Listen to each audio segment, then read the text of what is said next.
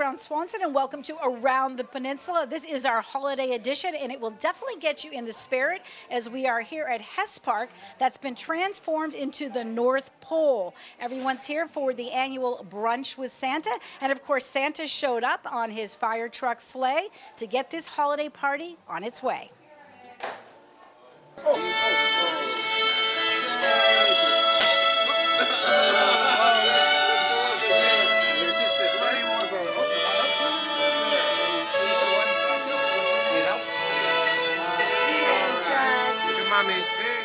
This is a great year. We have so much happening. We have Santa arriving on a fire truck. We have some violin. The PV Strings will be entertaining. We also have a marionette show. We have a delicious breakfast. We have opportunities for photo opportunities with Santa Claus, and Santa's going to be giving out some gifts. So it's a really exciting morning this is a gift to the community. The recreation parks was really hard to, you know, parks make life better. That's so that's what's great about it because not only is it a really fun event for the kids, but it's also a fundraiser for our REACH program, which is a recreation program for uh, young adults with developmental disabilities. Tell us a little more about the REACH program, who it serves, and how it works.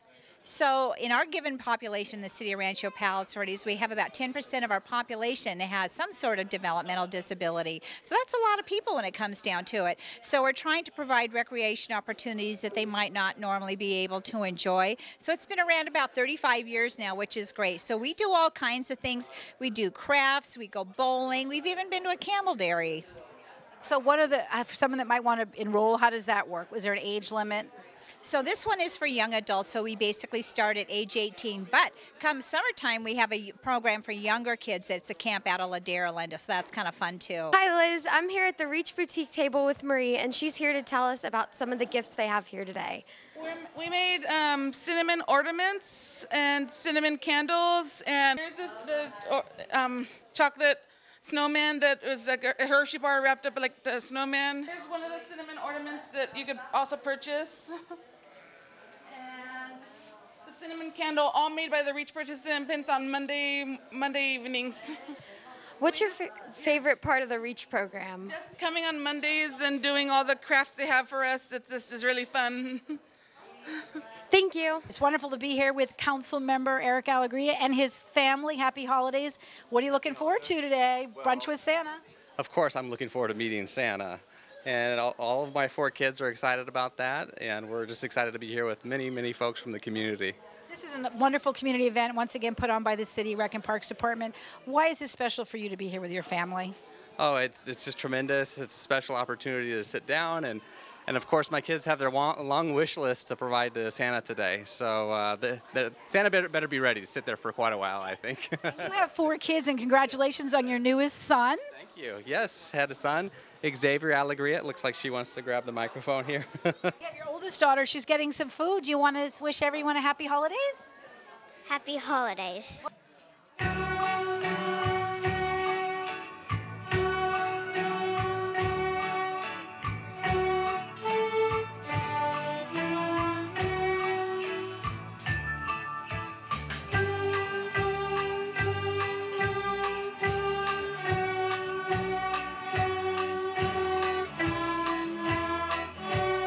Now being joined by Nasos and Cleos, two musicians today. Are you excited to play?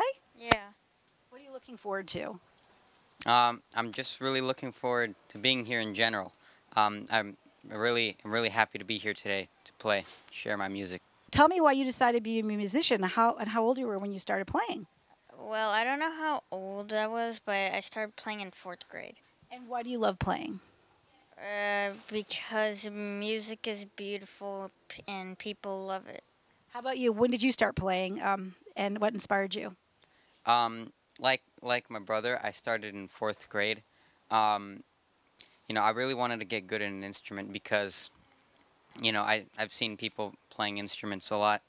And I I really like music in general. This is my third year volunteering for the uh, for the Breakfast for Santa, and it's just like a nice way to just like get festive and play some Christmas music and just serve the community. What are some of your favorite holiday songs? Um, well, you know, I like Jingle Bells. You know, just like the basic.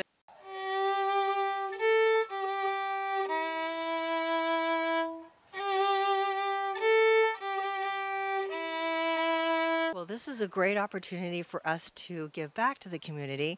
We have many of the musicians and students that have started at a very early age, and we've been part of Breakfast with Santa since 2000, I believe, eight, at least a good 10 years, 12 years with Breakfast with Santa. And it's a wonderful opportunity for them to play and give back to their community and also help support these special needs children. Um, talk about your program, though, that you have with your music program. We have great two music programs. You'll see it on our website. We have Suzuki's Graduation, which is all children can play the violin. And we also have the Royal Conservatory, which is known throughout the world. And you teach right here at Hess Park. We have our group classes are here at Hess Park and also for private lessons.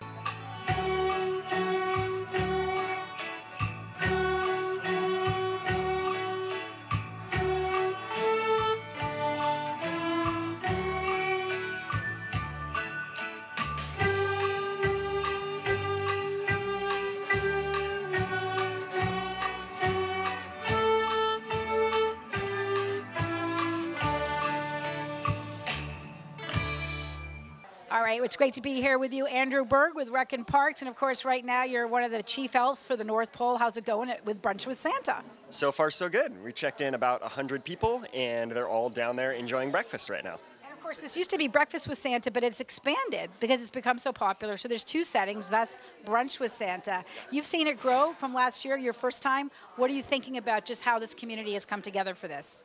Oh, I think it's great. I mean, it's obviously a popular event. It, it sold out so fast last year. We realized, man, we got to expand it. So we decided to do two seatings, and we filled those up, and uh, the community really seems to love it. So every, all the families come out and And of course, the most important part is this benefits the REACH program. From your perspective, why is this such a valuable program in our in our community?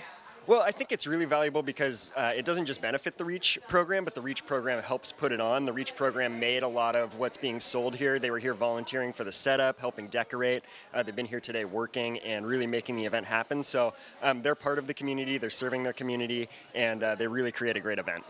You joined REACH in 1998, and you are one of the big elves here. What do you love about the REACH program?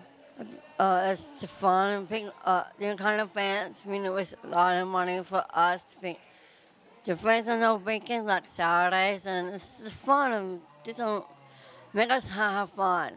Paige, here comes Santa. Hey, Paige, Merry Christmas to you. Merry Christmas, Paige. How are you doing? Doing well. How about you? I'm doing well. This is special. You got Santa. Oh my gosh. Interviewed, huh? Big time. Hello, everyone. Wow. Santa, perfect timing. We're talking about the REACH program. You know how important this is for all the good little girls and boys out there. The REACH program is wonderful. It's been around for 30 years, does incredible work, and Paige is one of our best members and one of our finest elves today. Thank you. What do you love about this event, Paige? You come all the time. Every year you come here. Just, just being out with the other people and just being around everybody. All right, I'm here with my RPV TV helper today, and we thought we had to take another photo op, and mine says, let's get elfed up. What are you loving about today, Gina? Uh, today's been a lot of fun. We got to see Santa arrive on the fire truck for Christmas. I love seeing all the little kids running around and having a lot of fun, waiting for Santa and playing with each other. We love it because Santa's here and he greets us with the fire truck, and then we get a great breakfast, and all the kids get a really nice story usually after breakfast, and it's just nice because it's it's sort of casual, but then it's also fun and festive. Did you get to meet Santa? Did you tell Santa what you want for Christmas?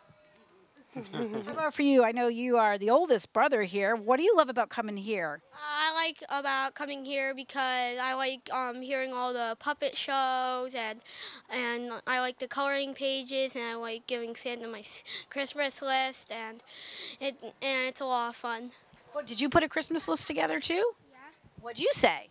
I had, I said, a video game, um, a camera, and a um. Camera, that's really exciting. Maybe that you can come work with us at RPV TV. We'd love that if you're going to be a cameraman. And for you, Dad, how about for you bringing your family here? I like it that it gets you into the holiday spirit and seeing Santa come on the fire truck and the kids enjoy the breakfast and having a good time. All right, I'm here with one of the terrific volunteers today. You're at the goodie bag station. How's it going? It's going good. We have a bunch of fun goodies here to get the kids in the holiday spirit, like some reindeer ears and then fun um, flyers for different workshops and stuff. What are you enjoying about today? I know you're here to give community hours.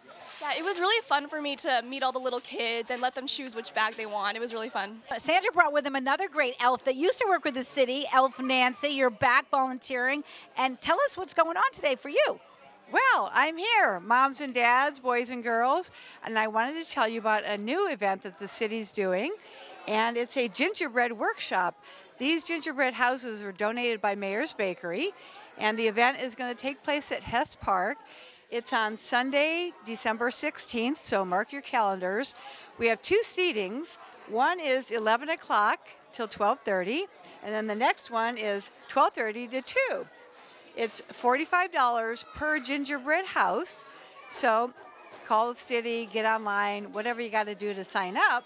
But anyway, we're hoping you're going to show up and have some fun building a gingerbread house. You know, it's going to be a blast. It's such a blast to have you back here. You love this event. Talk about why it's always been special. You've worked it so many years. So, you know, just look around. It's it's just decorated for the holidays. Parents and kids. Santa's coming on a fire truck. I mean, it's this is a feel good. Great, always and fun to be with Mrs. Claus. Are you feeling the holiday spirit today? Absolutely. Uh, we're so excited to have this event here at Hess Park. It's been going on for a really long time, and it's for a really great cause. Of course, and of course, we know you're here to keep Santa in line. Absolutely, absolutely.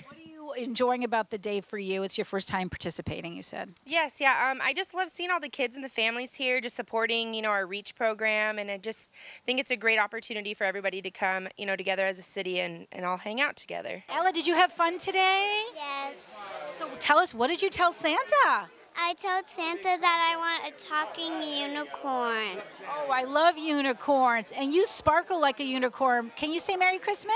Merry Christmas. Do you know any Christmas songs? What one do you like to sing? I like to sing Rudolph the Red-Nosed Reindeer. Can you sing it for us?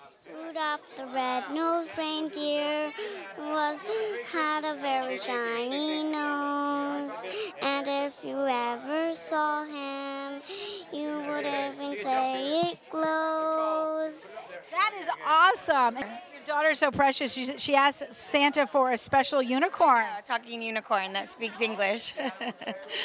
That's too fun. Why do you think this is a special event? What have you enjoyed about it? Uh, it was just so interactive with the kids, and you know, obviously meeting Santa and getting to take pictures, and the music was great, and the food was great. So it was just a fun thing.